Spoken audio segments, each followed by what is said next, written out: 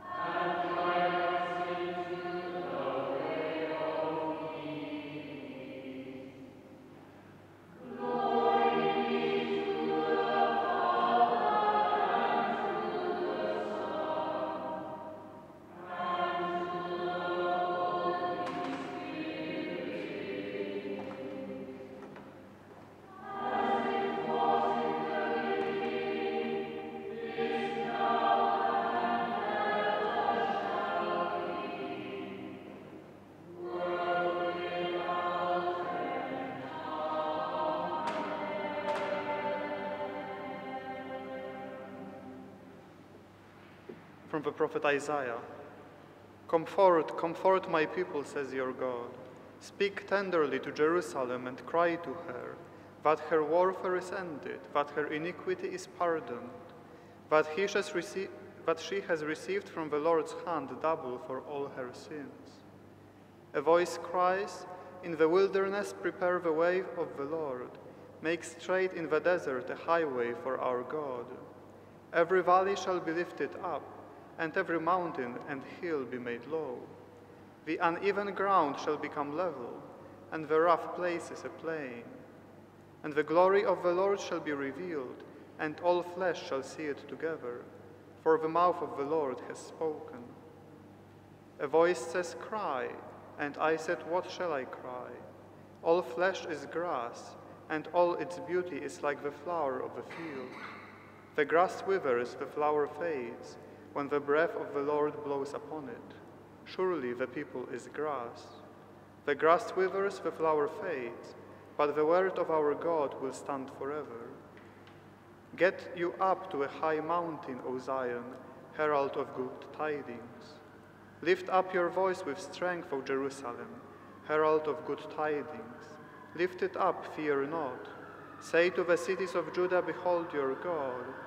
Behold, the Lord God comes with might, and his arm rules for him. Behold, his reward is with him, and his recompense before him. He will feed his flock like a shepherd. He will gather the lambs in his arms. He will carry them in his bosom, and gently lead those that are with young.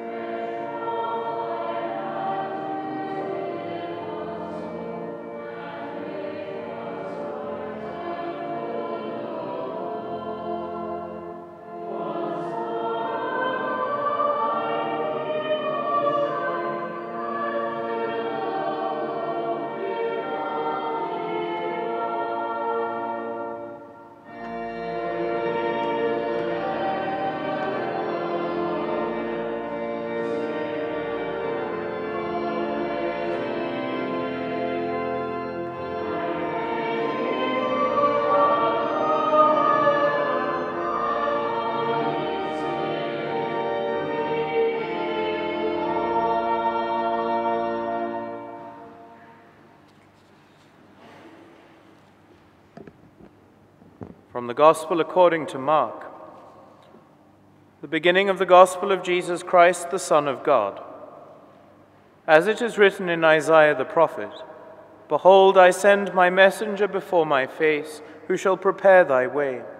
The voice of one crying in the wilderness, Prepare the way of the Lord, make his paths straight. John the Baptizer appeared in the wilderness preaching a baptism of repentance for the forgiveness of sins.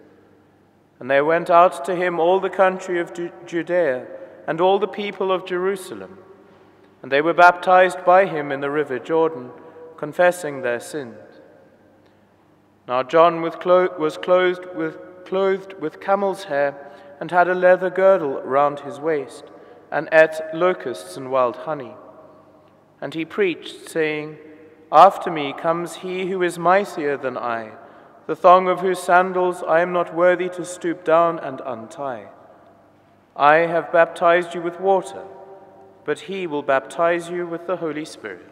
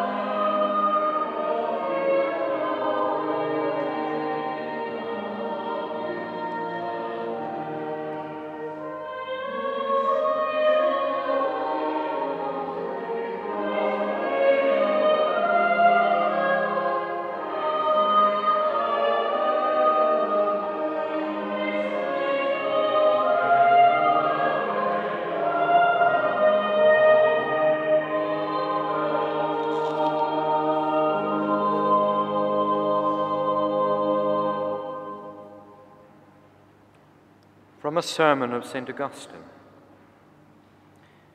John is the voice, but the Lord is the Word, who was in the beginning.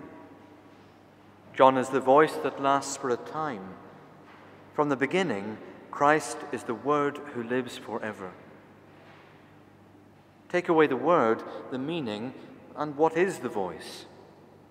Where there is no understanding, there is only a meaningless sound.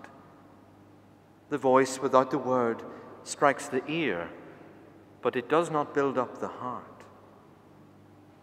However, let us observe what happens when we first seek to build up our hearts. When I think about what I am going to say, the word or message is already in my heart. When I want to speak to you, I look for a way to share with your heart what is already in mine. In my search for a way to let this message reach you, so that the word already in my heart may find a place also in yours, I use my voice to speak to you. The sound of my voice brings the meaning of the word to you and then passes away.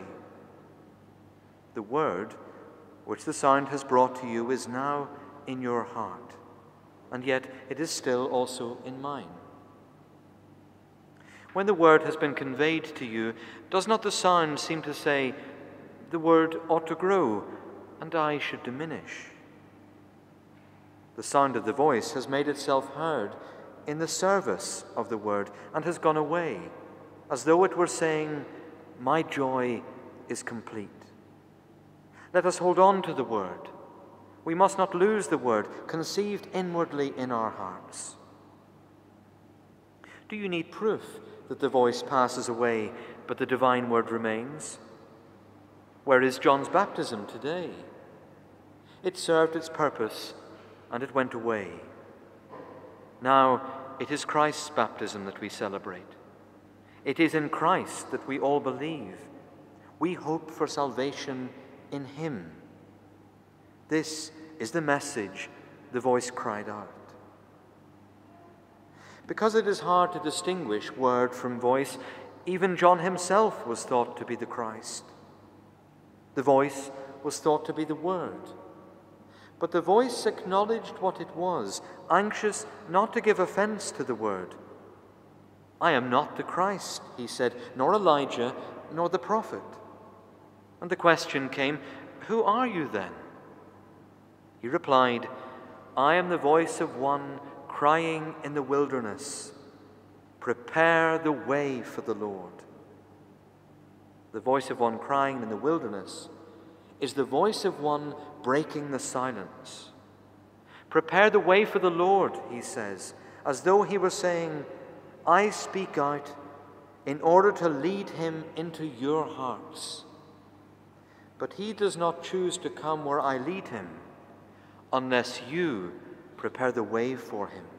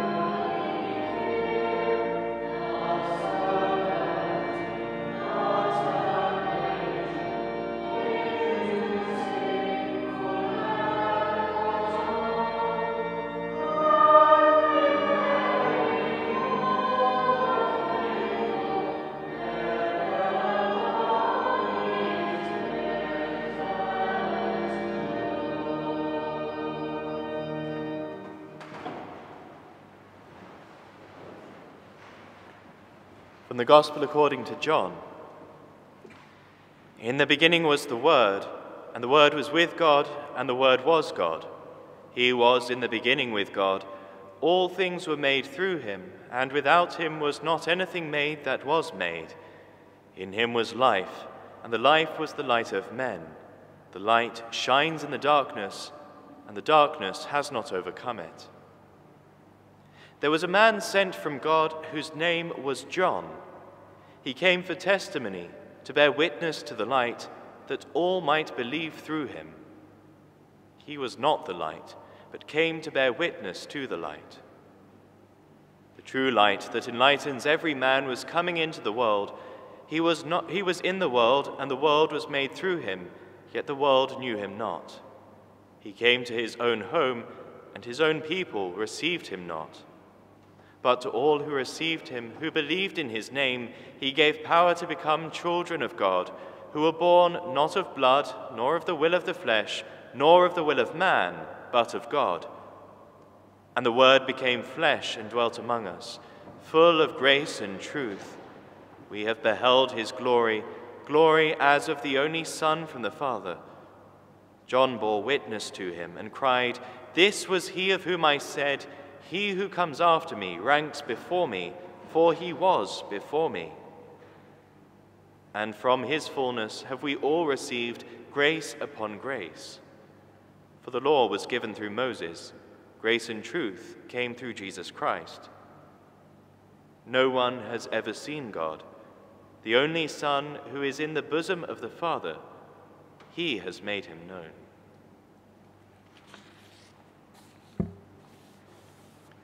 Please be seated.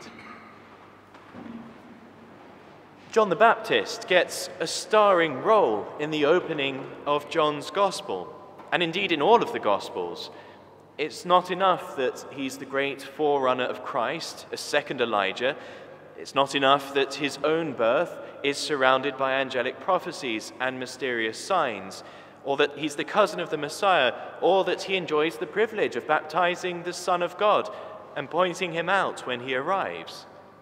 John, we are told, bore witness to the light so that all might believe through him. That's a pretty bold claim. If asked who our faith depends on, I'm not sure that John the Baptist is the person we think of as key to our salvation. Yes, we'd all put Jesus first, I hope, for obvious reasons. And without his mother's yes, he would never have been born, so we think she's pretty essential too. But thinking about how the faith actually comes down to us, we recognize the role of the apostles and their successors and the missionaries who brought the faith to our own lands. We think of those who brought us into the church, whether that was our parents when we were children or others later on in life. We think of those who taught us the faith, those who prepared us to receive the sacraments, of the inspirational preachers we might have heard, or the great writers we may have read. All of these are the ones on whom we think our faith depends, not John the Baptist. But that's how he would have had it, I suppose. He must increase, I must decrease. John almost disappears, except during these weeks of Advent when we're reminded that his message is still around. How can it be that we all believe through him? Well, if we fast forward through chapter 1 of John's Gospel, we're told that the first followers of Christ started out as followers of John. The next day again, John was standing with two of his disciples, and he looked at Jesus as he walked and said, Behold, the Lamb of God. The two disciples heard him say this, and they followed Jesus. John did more than just warm the crowds up for the coming of the Messiah he prepared disciples for him and handed them over to him when he came. All the way through the Gospels, we see that our Lord doesn't match his disciples' expectations of him. And perhaps we can wonder whether they even would have followed him at all if John hadn't first pointed him out to them. And these apostles we do recognize as essential links in how the faith comes to us.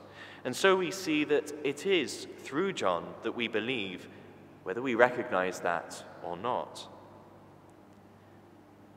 St. John Henry Newman said of his own vocation, God has created me to do him some definite service. He has committed some work to me which he has not committed to another. I am a link in a chain, a bond of connection between persons. Those words apply equally well to John the Baptist. And while John understood the importance of what he was doing, I'm not sure he ever expected to be remembered for doing it 2,000 years later on a winter's night in Oxford. We don't expect to be remembered for being foundation stones of the faith either. But those words of Newman apply to us too. Each of us has our own part to play in bringing others to Christ.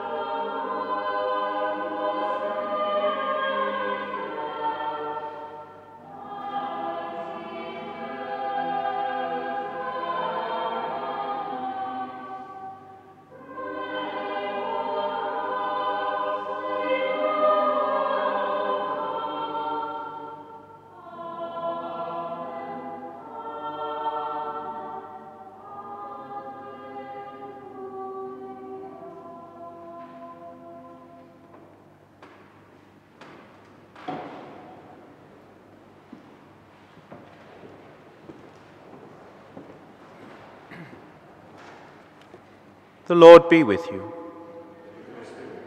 May the Almighty and merciful God, by whose grace you have placed your faith in the first coming of his only begotten Son, and yearn for his coming again, sanctify you by the radiance of Christ's advent, and enrich you with his blessing.